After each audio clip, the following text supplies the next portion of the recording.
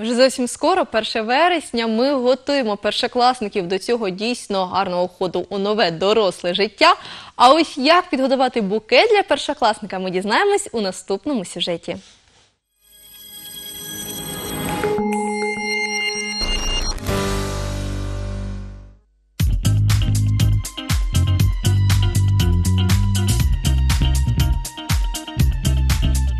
Всем привет, меня зовут Юля, я работаю флористом. И сегодня я хочу вам предложить э, интересную композицию, которой можно будет поздравить учителей. Композицию мы будем делать из эустонки и розочки. Мы будем использовать рускус. Это голландское такое растение. Э, В данный момент оно окрашенное в синий цвет.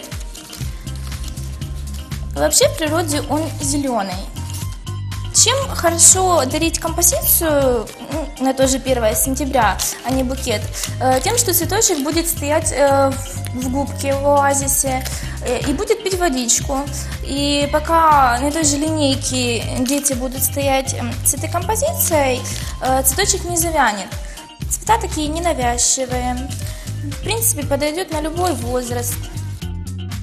Когда наша композиция уже подходит к завершению, мы смотрим, чтобы не было пустых мест.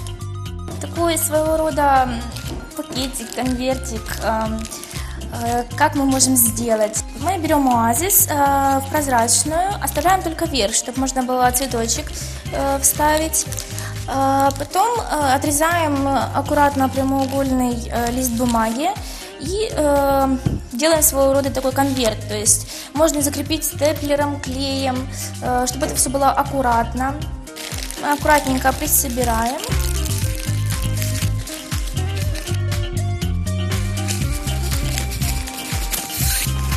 И завязываем ленточкой. Не сильно туго, чтобы не пережать цветочек. Всё, наша композиция готова. Так что можно смело брать такую интересную композицию, отправляться к преподавателю и поздравлять с началом учебного года.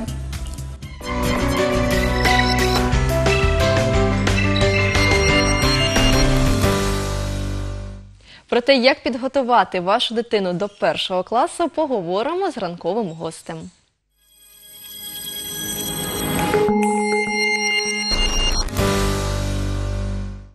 До студії нового дня сьогодні завітала психолог Світлана Іваненко. Вітаємо вас у нашій студії. Доброе утро. Психологічна готовність дитини до школи. Що вона в собі включає, і взагалі як батькам підготувати дитину до першого класу? Психологическая готовность ребенка к школе, она включает несколько таких э, этапов. Но первое – это социальная готовность. Ребенок должен уметь общаться со сверстниками и со взрослыми, для того, чтобы мог обратиться, мог попросить о помощи, мог сказать о том, что с ним происходит. Это все включает социальная готовность. И для того, чтобы вот эту социальную готовность к первому классу иметь, то есть ребенку важно, опять-таки, все дошкольное детство. Это игровой период, это общение со сверстниками, это общение с взрослыми, чужими, не родными. Вот. э, Есть еще одна часть э, психологической готовности к школе, это эмоционально-волевая. Ну, это когда ребенок э, может длительное время удерживать внимание и выполнять задания, которые, в общем-то, не очень приятно. Багато хто з батьків хвилюється, що дитина, пішовши до першого класу, не всидить за партою і їй буде некомфортно. Так Хотілося б також дізнатися, є ось такі курси для діточок, для першокласників, яких вони приходять, нібито займаються у школі, виконують якісь завдання. Наскільки ця підготовка важлива у підготовці до школи?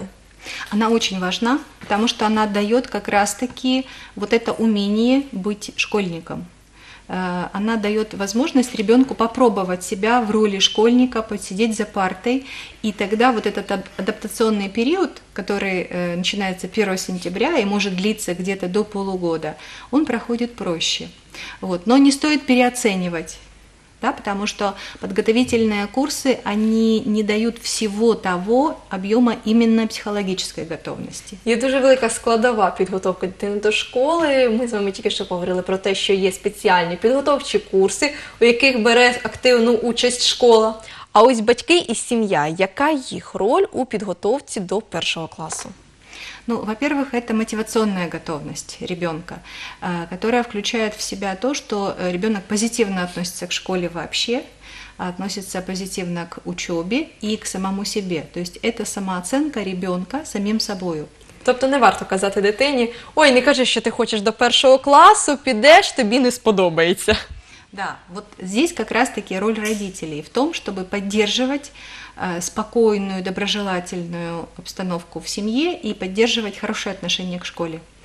Одновременно не запугивая, не придавая чрезмерной важности, вот подожди, вот школа, это школа жизни, вот, э, но и не э, относясь к этому очень пренебрежительно. То есть это должен быть такой вот внутренний баланс у родителей по отношению к школе, который они могут передать, соответственно, ребенку. Тобто готувати ще необхідно саме батьків до того, щоб підготувати дитину до Это школи. общее правило. Это общее правило в отношениях детей. А ось коли розпочинати саме підготовку дитини до школи, у якому віці можна і потрібно розпочинати ці розмови, якісь бесіди, розповідати про школу? Вы знаете, можно сказать, что все дошкольное детство – это есть период подготовки к школе. Потому что насколько у ребенка сформированы волевые процессы, насколько у ребенка э, окрепла эмоциональная сфера, насколько он умеет общаться с, опять-таки, со взрослыми, со сверстниками, может удерживать внимание, развитие памяти. Это все закладывается в течение длительного времени. Да? И подготовить ребенка вот так вот вдруг на ровном месте да, достаточно сложно. Вот. Ну, И э, то, что мы называем подготовкой в обыденном смысле этого слова, это, скорее всего, обучение навыкам. Да? Когда ребенка обучают, допустим, анализировать, систематизировать там, предметы Багато хто з подобие. батьків каже, що піде до школи, сам всьому навчиться. Чи варто цього дотримуватись, чи ва- е, варто дійсно навчити дитину трошки читати якихось букв і, можливо, щось писати, щоб дитина вже прийшла і вона знала, що у неї є базові знання. Это как раз мы говорим об интеллектуальной готовности, да? И многие школы э, просят к вступлению уже иметь базовый э, уровень подготовки к школе, именно интеллектуальный. То есть это чтение, это умение считать в пределах 10, ну и так далее. Вот. Это действительно важно для того, чтобы ребенок приходил и чувствовал себя более-менее уверенно. Вот. Но с другой стороны, а, не стоит начинать с ребенком заниматься с двух лет английским языком. Не стоит учить с ним буквы так рано. То есть эмоциональная готовность, она ну, э, не от этого будет не лучше, вот, а знания, которые ребенок вну, ну, э, в таком возрасте раннем он приобретет, они, собственно говоря, могут даже и забыться. А ось щодо віку, у багатьох у батьків, мами, татусів хвилює питання, коли віддавати дитину до школи у 6 чи 7 років. Наша сьогодні освіта дозволяє і в тому, і в тому віці, коли найкомфортніше. Дехто вважає, що у 7 років це вже пізно, і дитина буде переростком коло своїх однокласників. Дехто каже, що у 6 років занадто рано, що це відбирати дитинство. Що ви порадите? Э, С точки зрения психологии лучше, конечно, дать ребенку э, взросление в более спокойной обстановке, то есть в детском саду. Особенно если ребенок по наблюдениям воспитателей, по наблюдениям родителей не очень усидчив. Особенно если он астеничный, ну то есть часто болеющий, который склонен к тому, чтобы э, ну, вести себя не очень эм, уверенно в э, обстановке детского сада, например. Вот. Если нет такой вот внутренней готовности у самого ребенка, ребенок боится, то тогда стоит подождать. А ось якщо вік вже прийшов, дитині вже й 7 років, за власним прикладом знаю, пішла з 8 років, тому що все ніяк не брали, була дуже маленька. Що робити батькам, коли вік вже дозволяє йти до школи, навіть проситься, а дитина ще не готова? Ну, однозначно нужно отдавать ребенка в школу. Единственное, что здесь очень важна роль родителей с точки зрения поддержки. Потому что ребенок тогда будет повернут лицом к обучению, когда у него за спиной хорошее ощущение безопасности, да, которое есть в семье, что его там примут с любыми оценками, его там примут с любыми успехами и неуспехами. И ощущение привязанности, ну, это о том, что он опять чувствует себя любимым, когда возвращается в семью. Хотілося б також дізнатися. Я думаю, великою проблемою для діточок, які не ходили до дитячого садочку, буде прокидання вранці. Можливо, від вас якийсь лайфхак, як розбудити дитину, щоб вона не плакала, не влаштовувала істерик, а йшла до школи із посмішкою і відчувала себе дійсно добре, самопочуття було на рівні. Э, В отношении этой ситуации и вообще в отношении школы э, я бы дала следующий совет, что для ребенка в этот момент важна очень безопасность.